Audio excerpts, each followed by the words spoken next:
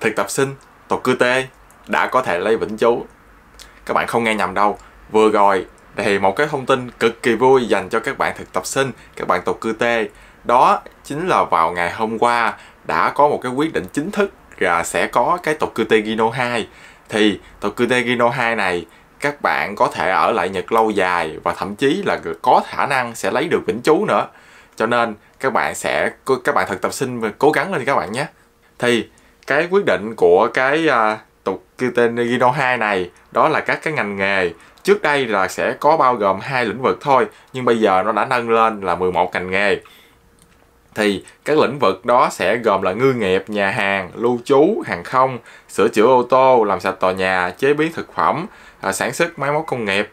Đấy, trong mỗi cái lĩnh vực này thì nó đều mở ra một cái cơ hội để mà có thể ở lại ổn định để mà làm việc lâu dài hoặc thậm chí là mở ra được cái cơ hội lấy vĩnh chú đối với các bạn tộc cư tê Gino 2 này luôn. Tức là bây giờ các bạn thực tập sinh và sau đó sẽ chuyển lên tộc cư tê Gino 1 và sau đó sẽ nâng lên là tộc cư tê Gino 2 và thậm chí là có khả năng có thể xin được vĩnh chú. Về mặt lý thuyết là như vậy và nó cần nhưng thực tế nó sẽ cần rất là nhiều cái điều kiện cái yếu tố. Ví dụ như là các cái kỳ thi các bạn phải thông qua được các cái kỳ thi đó. Và người ta dự kiến rằng cái tộc Kitagino 2 này cái khả năng đổ của nó là khoảng 30% tức là 100 người thì sẽ có 30 người đổ. Thì cái cái khả năng cái tỷ lệ của nó cũng cũng khá là thấp các bạn. Theo mình đánh giá thì, thì như vậy cho nên là các bạn phải cố gắng thật nhiều lên các bạn nhé.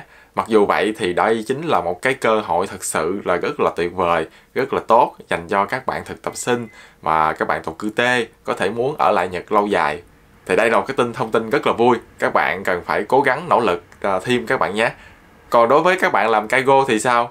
Thì chỉ có một cái lựa chọn duy nhất là phải thi đổ kỳ thi quốc gia Kaigo. Kaigo Fukikishi cục Kashiken thôi, chứ nó không có thể nào nâng lên Tokyo Gino 2 các bạn nhé.